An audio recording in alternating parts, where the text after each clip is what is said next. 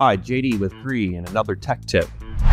So have you ever had a multi-zone unit where you have an indoor head that was stuck on 67 degrees, couldn't raise or lower the temperature? Well, I'm here to blow your mind. It might not actually be stuck on 67. It might actually be an error code, B7.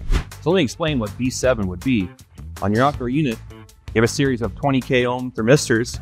That would be right here, you have a set of four for your four different circuits, A, B, C, D, and your four thermistors. This is gonna be your liquid. Over here, you're gonna have your gas for A, B, C, D thermistors. In this example here, we have our needlepoint probes. You're just looking for the inconsistent one. So we're looking for one that's open or shorted. So we're looking for one that's OL or zero. And in this example here, you can see in my meter, it's you know 24.29K ohms.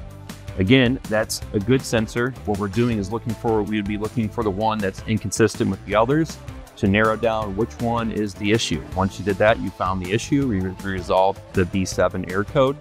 And also, if you ever wanted an ohms chart, you want to go to greecomfort.com. Then you go to resources, system documentation, and you scroll to tech tips. And under tech tips is where you'll find the ohm chart.